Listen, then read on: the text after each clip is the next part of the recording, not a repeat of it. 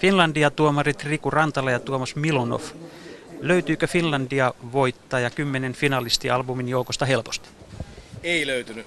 Erittäin kova taso, mikä yllätti. Me ollaan ehkä molemmat reissaamisen ja duunin teon painamisen myötä pudottu ehkä snadisti kelkasta siitä, mikä tapahtuu suomalaisessa sarjakuvassa. Nyt ei olla enää pudottu, nyt me ollaan täysin kyydissä ja se taso on helvetin kova. Tosi, tosi vaikea oli valita. Kyllä loppujen lopuksi toi voittaja nousi aina uudestaan ja uudestaan mieleen ja loppujen lopuksi tuli jopa uniin asti. Ja entä mitkä tekijät sitten tämän pikkunärhen veivät voittoon lopulta?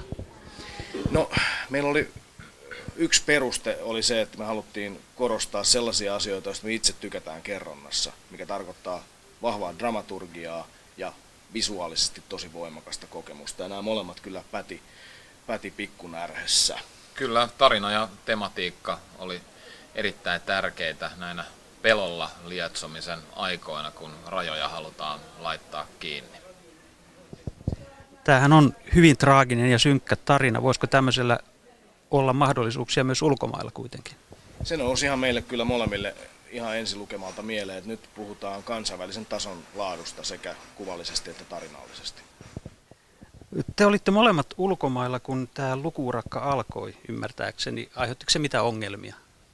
Ei. Tämähän on tietysti myös yksi semmoinen nykymaailman edellytys, että tietysti hyvä albumi toimii parhaiten juuri sillä käyttöliittymällä, mihin se on suunniteltu. Eli kirjana, painettuna teoksena, mutta meidän ensimmäiset lukukerrat kyllä tapahtu, ensimmäiset fiilikset niin sähköisesti.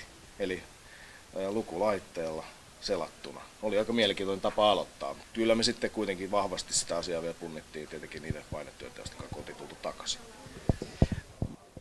Entä voiko teidän mielestänne sarjakuulla vaikuttaa? Tuossa viittasit siihen, että se pikkunärhi on aika vahva ja sillä on tärkeää sanottavaa, mutta voiko sarjakuva muuttaa maailmaa? Ihan varmasti sarjakuva voi muuttaa maailmaa, kuten tässä voittajateoksessa. sehän oli hyvin selkeästi kerrottu tarina hyvin tärkeästä aiheesta.